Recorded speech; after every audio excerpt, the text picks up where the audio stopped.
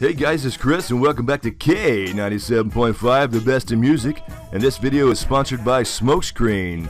You guys have asked and Smokescreen has delivered with t-shirts and hoodies now available. So pick up your fresh design at teespring.com slash store slash smokescreenvids. A link will be available in the description below, so check those out and enjoy the video. Hello Ice and Fire Nerds, this is Chris and this is going to be a little Game of Thrones Season 7 speculation video and we're going to talk about Valyrian Steel. So let's talk about the Valyrian Steel swords, what happened to some of those and will one of those be important to the end game of our story.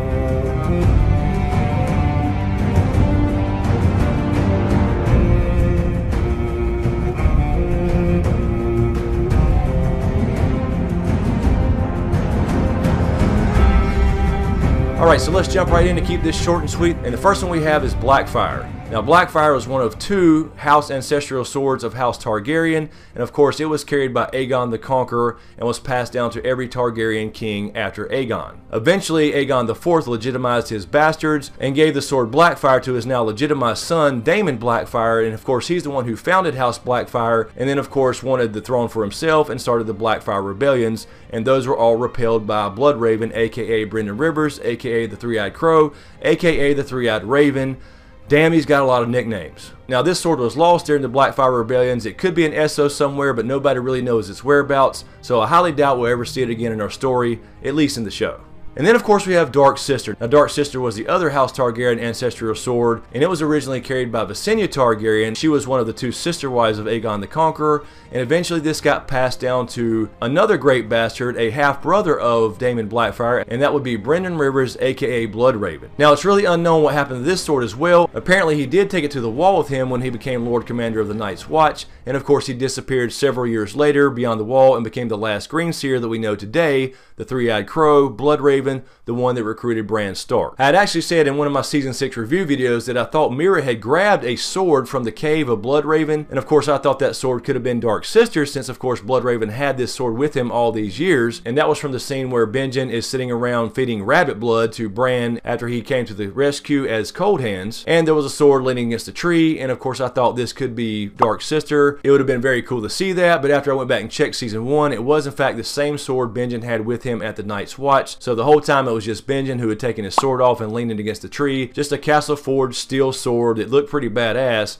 but it was not Dark Sister, so at least in the show, it's very unlikely that we'll ever see that blade again as well. And then of course we come to Ice. Ice of course is the House Ancestral Sword of House Stark. It is a great sword. We saw Ned take off Will's head in Season 1, Episode 1, Winter is Coming, when he deserted the Night's Watch due to the fact that he saw the White Walkers. And of course, sadly, later on at the end of the season, Ned lost his own head with Ice by Sir Ilyn Payne under Joffrey's command. Now, of course, after the Red Wedding and essentially the defeat of House Stark, Tywin Lannister had Tobho Mott, the blacksmith in King's Landing who Gendry was under, melt Ice down into two other Valyrian steel swords now known as Oathkeeper and, of course, Widow's Wail. Oathkeeper is now with Brienne, of course, given to her by Jaime. Widow's Wail was given to Joffrey for his wedding gift and apparently buried with him in the Great Sept of Baelor, now blown to shit by Cersei Lannister and the Wildfire. So we'll probably never see that one again either, although in the books apparently it is still in the possession of Cersei. And then of course we have Longclaw. This is the House Ancestral Sword of House Mormont of Bear Island, and of course it was given to Jon Snow by Lord Commander Mormont. This did belong to Captain Friendzone Jorah Mormont, but he brought shame on his house when he sold poachers as slaves,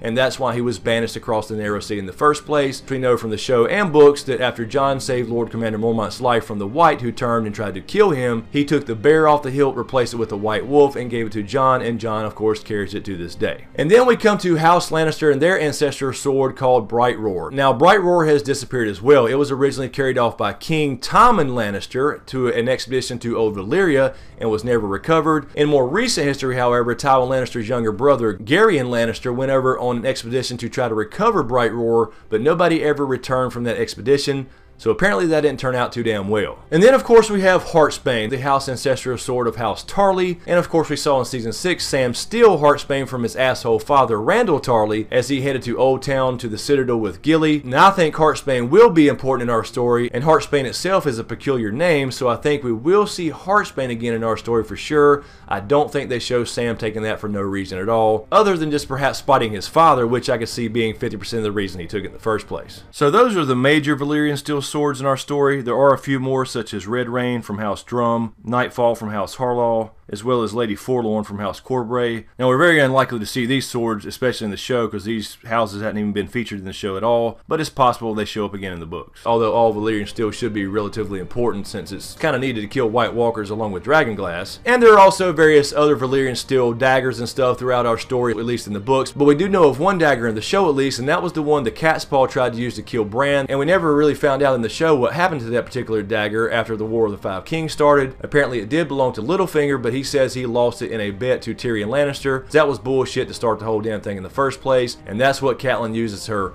proof that Tyrion in fact tried to murder Bran. So I wonder if we'll see that dagger again. And last but not least, there are rare cases of suits of armor made of Valyrian steel, and these are actually more priceless than the swords themselves, and nobody in our story except for Euron Greyjoy, at least in the books, owns a suit of Valyrian armor. So it's very, very rare, and we're very, very likely not to ever see it on the show, because Euron don't even have a fucking eye patch in the show.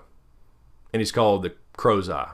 So anyway, you get the idea. There are a few Valyrian steel swords left in our story, although I don't think there's enough to really do anything as far as the wars to come with the White Walkers. And I guess I could mention Dawn, the ancestral source of House Dayne, not Valyrian steel, but was forged from a meteorite, and we did see that in the show, but I think that was just there to kind of be Jon's bleeding star as far as a shout out to the Azor Ahai Prince that was promised prophecy. So anyway, out of all these Valyrian steel weapons, could we see them play an important role as far as the war for the Dawn, the wars to come? Maybe, maybe not. I mean, a few people have them, but it's definitely not going to be enough to battle the White Walkers. We're not really sure how many White Walkers there are, but there's just too many white, so they're going to have to get Dragon Glass involved, Valyrian steel involved, and of course dragons. But I do think one sword in particular will have a purpose in the end game of our story, and that is Heartsbane. So think about the name Heartsbane. It kind of ties into the story of Nissa Nissa, where the last hero apparently tempered his sword the third time through the heart of his wife, and of course supposedly created so-called Lightbringer. What's the reason Sam took Heartsbane from his father Randyll Tarly when he headed to the Citadel? Now, it could have been just for protection because he needed a sword, or it could have just been to spite his father, but I think in the end, the name Heartsbane is very, very interesting to me. And I won't get into it too deep here because this is going to go into the Jon Snow endgame series, The Dragon Raised by Wolves, and it's certainly not that I have a concrete answer, but I just think the name Heartsbane is very interesting, and I don't think they would show Sam stealing that sword for no reason other than having a sword by his side. He could have picked up any sword for protection on the way, just any steel sword or a dagger or what have you. So I think there's going to be a reason that Heartsbane is going to be in our story,